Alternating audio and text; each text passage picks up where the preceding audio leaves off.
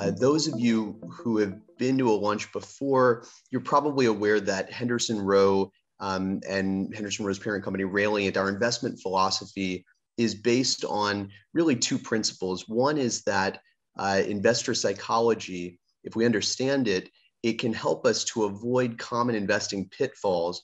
Um, and also, maybe even more importantly, by studying behavioral finance, we can determine how other investors make mistakes, how they lead to mispricings, and how we could exploit that to enhance our own performance. Uh, the second principle is that one of the best ways to take advantage of behavioral bias in the market, both in terms of being disciplined so that we can avoid mistakes, but also exploiting others' mistakes, is through systematic strategies.